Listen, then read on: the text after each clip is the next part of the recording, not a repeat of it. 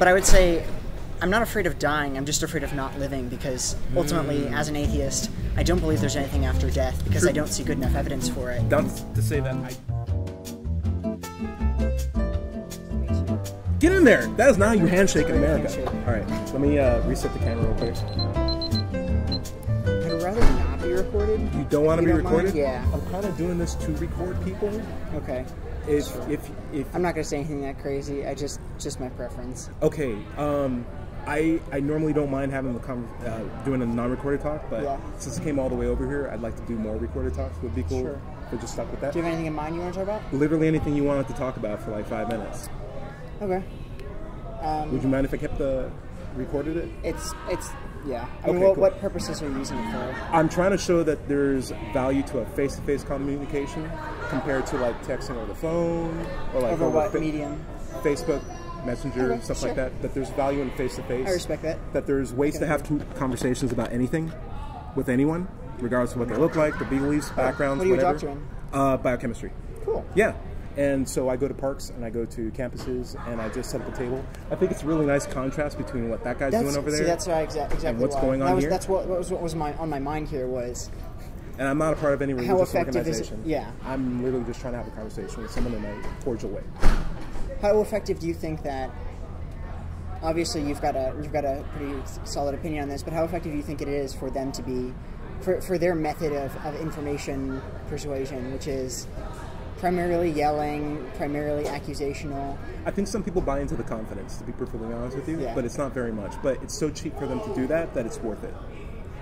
Mitchell, Yo. I'm having a five minute chat.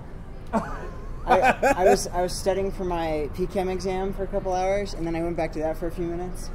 Yeah. This seems like a real time. But do you want to try it? Yeah, out? sure. Okay, cool. And you don't mind? Just to chat about anything. And you don't mind for I record, right? That's fine. as well. Okay, so hi, I'm Ty. Eric again. Eric again. Eric. Eric's. So, since the theme of that guy is over there, would you mind if we had a chat about something Sure. that you strongly believe is true, or something you know you can't be um, wrong about? Oh, there's like- nothing I know I can't be wrong about. Oh, that's I great. mean, we could we could we could have a discussion about that in itself. Is there is there anything? What's the most thing that you're absolutely sure about? What's closest to absolute sure that um, you're about? I think the thing that I would be closest to being absolutely sure, which is what supports my belief of nothing being above suspicion or above argument, above discussion, um, would be that belief in itself, which is um, I'm absolutely sure that the most effective way that I can um, build up my belief system to be the best that it can be, obviously that's subjective, Okay. is to allow it to be open to any reasonable criticism or argument and to always be questioning it. Are you even 100% about that? 100% Yeah, I think confident? so. You're 100% confident about that? Or as close as I can get. Okay, okay. Because it would I mean, be because because ironic at that ultimately, yeah, ultimately, if somebody, ultimately, if somebody, you know, if I if I converted to some religion and I Sure. was 100 percent confident in that, then it would be, you know, impossible for me. There are some people who are very confident about, like, for example, a God existing. Yeah.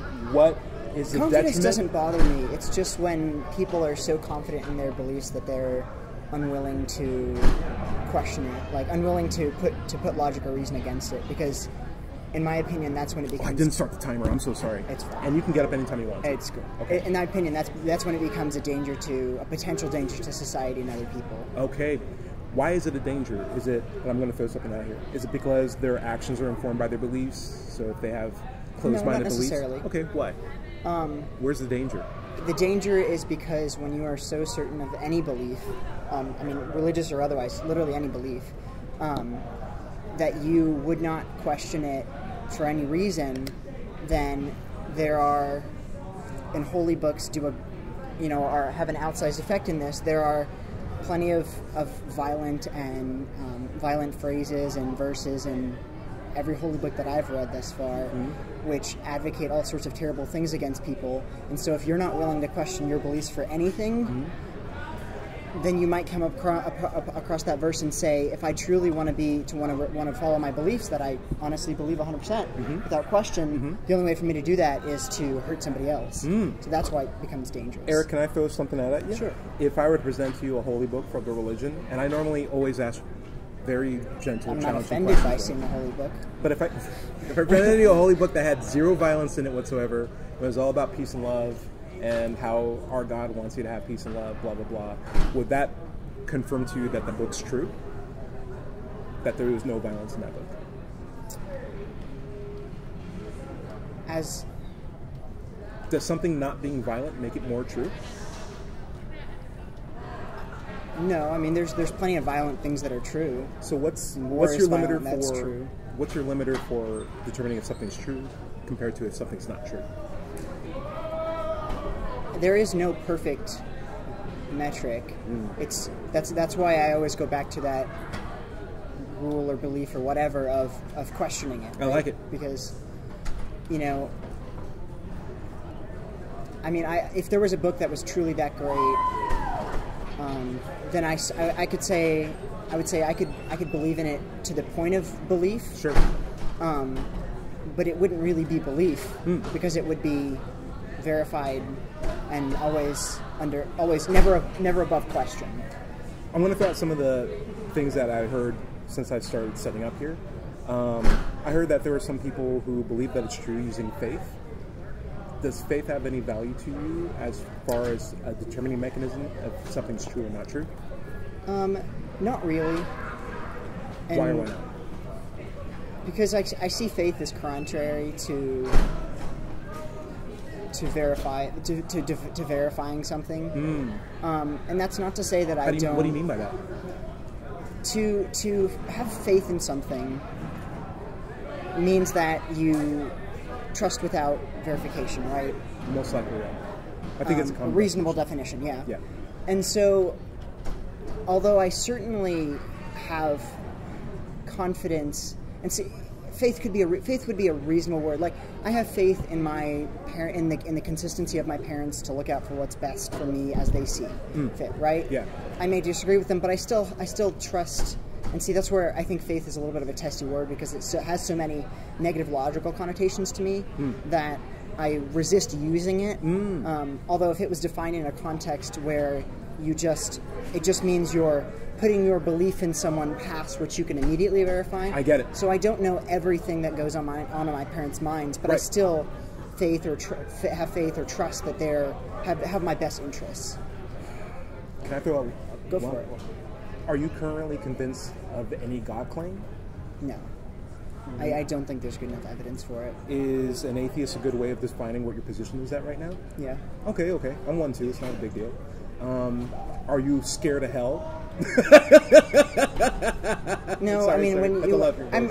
I'm, and, and another just you know side side point. Sure. Um, but I would say I, I've never been not never. That's not true. I used to be religious, quite Okay. religious, and my journey towards being atheist actually was in a pursuit of Yeah, proving exactly my the same here. religion. And I, is, yeah. I'm still on that track right now. Yeah. Um, but I would say I'm not afraid of dying. I'm just afraid of not living because ultimately, as an atheist, I don't believe there's anything after death because True. I don't see good enough evidence for it. That's to say that I know it won't happen. Anything will happen, Yeah. but I don't have any good reason. To Exactly, exactly. So because well if somebody presents the right evidence for God, that I would, I would absolutely be, I would, I would change my belief right then, but or I may not be worship it. But I may not worship that God. But Fair, I'll definitely fair. at least be open that yeah, that God's true. because I mean, there's there's certain very difficult, I mean, impossible things to reconcile in my mind, which is if, if there's an all powerful God, which is how could an all powerful God So allow childhood cancer? And if and if he does, yeah, is he really worthy of worship? Like, Right. you know, My big there's thing a lot is- of issues there. as an atheist talking to another atheist, I find that a lot of people use substandard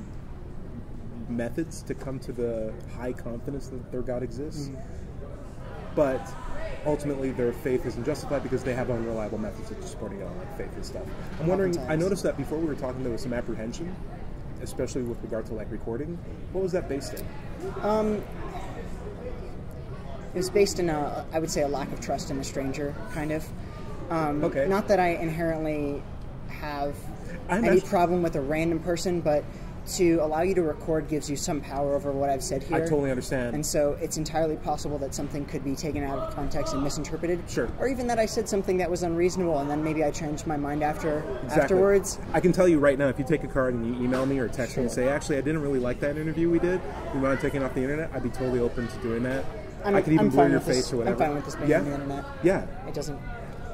Um, But I, I just I am really interested in how this table looks like to many different kinds of people. Yeah. It surprisingly attracts a lot of different kinds of people, and I try to make it as least assuming as possible. I would say why it was attractive to me. Not that that was necessarily a question, but I enjoy talking in general. So, um, was because I I find their rantings, as I would call it, um, amusing. Sure.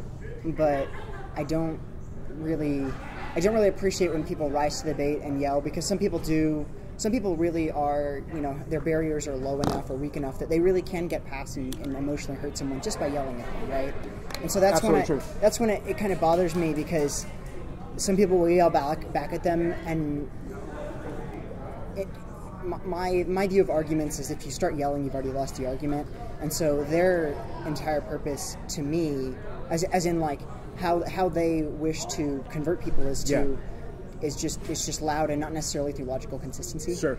And so if you rise to the bait, then Right. you've already kind of lost because you're not, Not only that, thinking about it from But that place. yelling platform is a territory they're much more comfortable in. That's fair. And even though it appears that they're ranting, they are very much more now guided by intuition because they're so comfortable in that environment. Whereas the other one's more or less guided by emotion, which I would makes largely agree. Persuasion by rhetoric much more easy to do. and it's it's in, it's interesting and ironic in a sad way that on a college campus, Well- people would people would be so enticed to that. I understand what you mean, but this is a free speech area. I think I'm, I, we're all exercising our right, right. to I just mean audience to it. because as a as a place of higher learning, our, our goal is to put behind our irrational ways, whatever they be, not necessarily belief. No, I understand what Um, but just put, put behind irrational beliefs and, and rise to some, something more logical and Less something, decisive. Yeah, le- yeah, and something that can further. The, well, as an engineer, a lot of some things are decisive, but uh, but, engineering too, chemical yeah, engineering. Yeah. same. Yeah, Okay, hey, Yeah. look at you. Nice, Engineer. nice. Um, but ri- rise to something that's, you know, greater, and I realize that's subjective, but Hmm. something that's not as privy or as likely to just to have these random yelling arguments about. Sure. You know, Yeah. Hey, Eric. I enjoyed the chat. I did as well. You got to study I, c- I for could PChem. chat for, I really do. Don't let me distract I you. was I know, already doing it. I know This- what that's life is like. This, this calmed me down far more than laughing at them. So, Cool. Cool. Appreciate it. All right. See ya. Uh, when, how often are you here? I'm curious. 'Cause I Uh, love these kind of discussions. so if you, I'm always here when I am here. So if you ever see me again, I've got you. definitely. Okay. Yeah. See you around, man. Do you think? That's really good way of putting it. Yeah. So, Do you have enough conclusive evidence to get you to 98% that God exists? And you don't have to say I, I don't know right now, but like, do you think your position is justified? no. It's tough to think about. yeah. Yeah. It's it's tough. Aaron, I really appreciated this. Thank time. you. Yeah.